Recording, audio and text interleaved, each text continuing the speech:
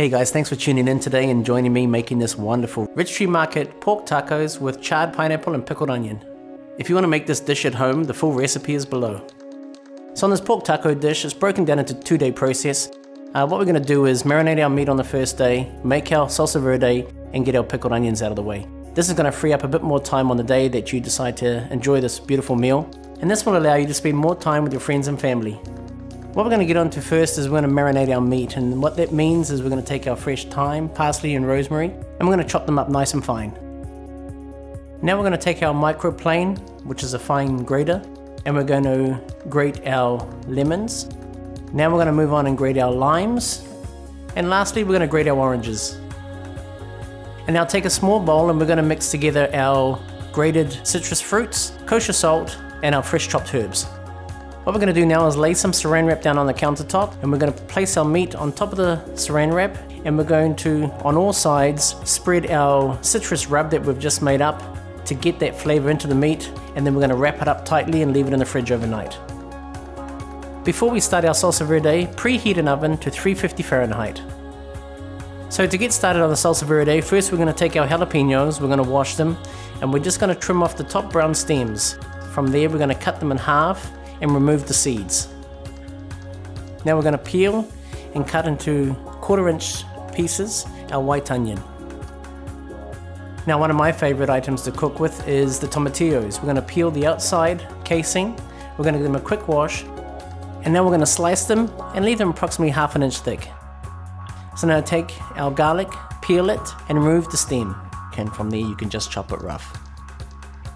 Next we're going to start cooking the salsa verde.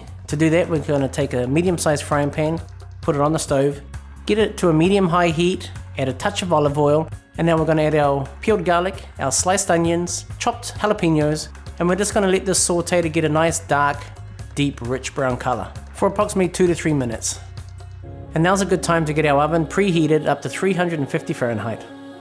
Now we're going to take our frying pan with our sauteed onions, jalapenos and garlic and we're going to put it in the oven. We're going to leave it in the oven for about 15 to 20 minutes until our onions are soft.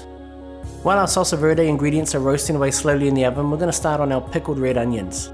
Take one red onion, peel it, cut it in half, remove the stem, and we're going to just slice it into thin strips. Once you've finished slicing your red onion, place the onion into a bowl and add some cold water and we're going to leave it like this for about 15 minutes. Now we're going to remove our frying pan with our salsa verde ingredients. From there we're going to transfer them into a blender and we're just going to get that slowly started on about a number 4 or 5. We're going to add our cilantro. Blend it for further 2 minutes and check the seasoning. If you desire, add a pinch of salt and pepper. Now we're going to prepare our pickling liquid. It's equal quantities of red wine vinegar, raspberry vinegar, water and sugar. All these ingredients are going to go into a small pot and we're just going to bring them to a boil. Next, we're going to pour off the cold water from our sliced red onions, and we're going to pour over the top of those onions our piping hot pickling liquid, and we're just going to set it on the side of the counter. Once the pickled onions have cooled down enough, saran wrap them and put them in the fridge together with your salsa verde and our beautiful pork we have marinating.